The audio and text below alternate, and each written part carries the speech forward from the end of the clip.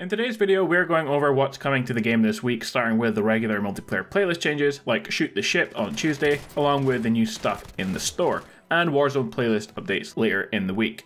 Finally, a quick look at a potential new leak for Season 5 at the end of the video. First, if you're like me and hate to watch 10 minute videos and just want straight to the point updates and info, then please support my channel by watching the video until the end and liking and commenting.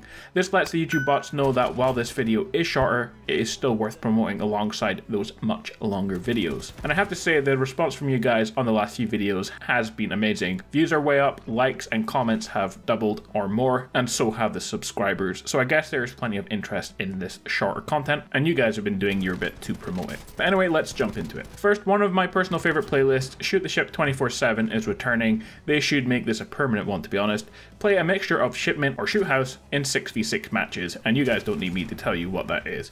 It's perfect though for grinding challenges leading up to the end of the season. Next, hop into 3v3 gunfight snipers only to test your marksman skills, talk it up with your teammates, and best the arena to find your spot and pick off the enemies. Ground War gets reinfected in the large map version of the popular mode. Fight to survive until the time expires to claim victory. Consider mid-range weapons to pick off foes at distance or deadly close quarter options for anyone who tries to sneak up on you. Finally, later in the week, Warzone will see the stimulus duos, if you have enough cash when you're eliminated, you will automatically redeploy into the match.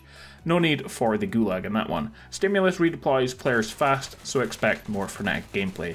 Other Warzone playlist updates include Battle Royale solos, trios, duos, and quads, and plunder quads, but that means that Warzone Rumble is most likely going to be leaving. We have a couple of new things in the store this week. A new look for Charlie with the Earth Expeditionary Force bundle, dressed for a tactical exploration of the Beyond, don the Outrider skin, and move quickly with the legendary Colonel Standard LMG.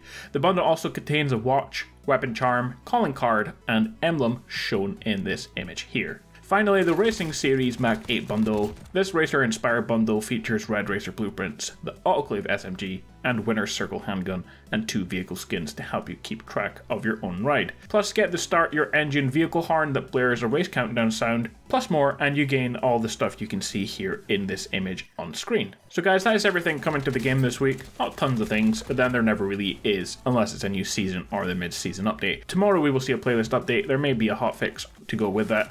The rest later in the week, and it's been a while since we've had any patch notes as well, so there may be some on Thursday. If there are, I will let you know. There is one final thing to go over, however, a Season 5 is getting closer. In a couple of weeks, we have a leaked trailer from Nick Mercs who showed it on his Twitch. Here is the clip.